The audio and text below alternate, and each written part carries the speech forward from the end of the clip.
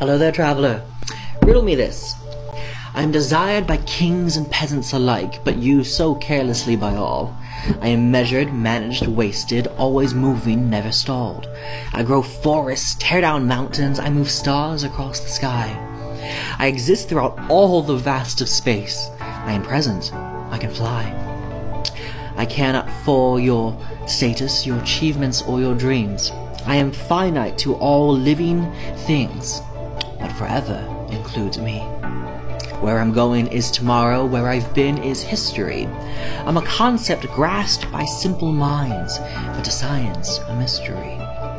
I am measured by the moments, I am counted by bits of falling sand. I promise to never promise more than what is presently in your hands. I am time, the riddle solves itself.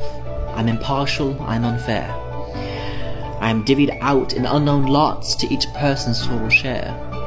Now the true riddle, my dear traveller, isn't how to cheat more time, but on how to use your precious lot of moments to its prime. For those who only chase tomorrow will find it cold and grey, but those who make the present count live lifetimes every day. So not exactly a riddle, more of a reflective thought I'd share. I hope you find it interesting. And as always, stay safe